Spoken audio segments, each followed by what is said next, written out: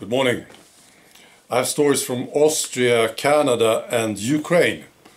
Right. The Ukraine story is really about the shot. You know, you guys in the medical profession, you are getting a very bad reputation these days because of what you are doing. Yeah. What you're doing is too, totally insane. Yes.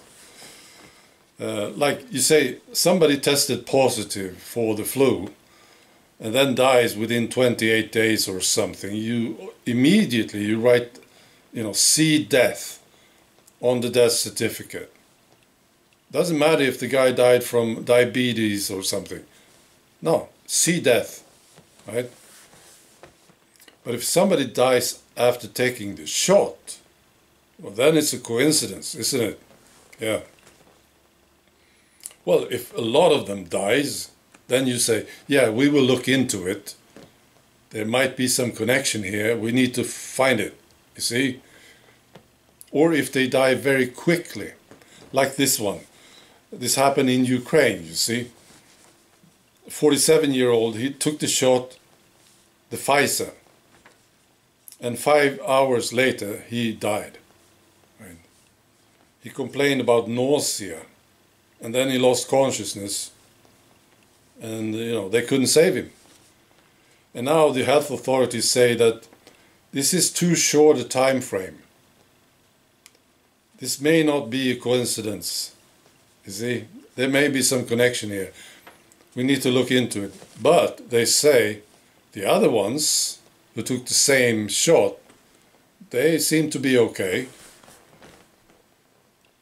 So maybe it's just something happened. It's a freak event, something. See? I wonder what needs to happen before you say, yeah, there is a connection. Maybe if they all died, right? You gave the shot, you gave the Pfizer to 100 people and they all died. What would you say then? You say, yeah, this doesn't look good. I bet you, you would still say, yeah, we need to look into this. yeah. But you know, with the with the virus, it's totally different, isn't it? Yeah. A hundred people who got tested positive, yeah, and they died. Well, they were all see death, weren't they? Yeah, that's what I'm saying. You're getting a bad reputation.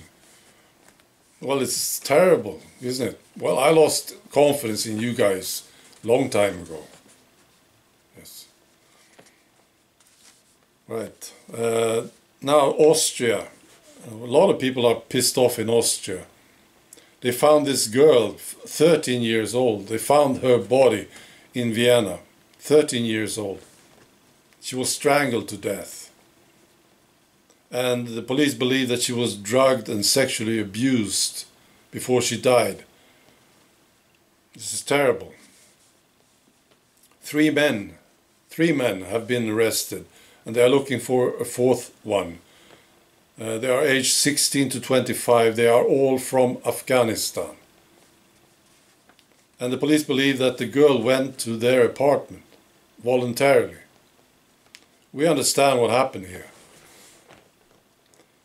Yeah, what do you know when you're 13 years old? Yeah, I hate this stuff.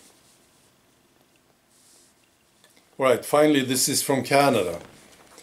Uh, somebody found this on this official government website. Pride season. Yeah, this is what they say. Events LGBT, events and narratives will be promoted every year from June until the end of September. They call it Pride season. So you want a Pride season now. Well, I don't care if you dress up in women's clothing, put on makeup, or kiss somebody from your own sex. I don't get. I don't care. But I mean, this is too much, isn't it? It's exaggerated. Why do you need a pride season? I don't get it. The government seems to like it.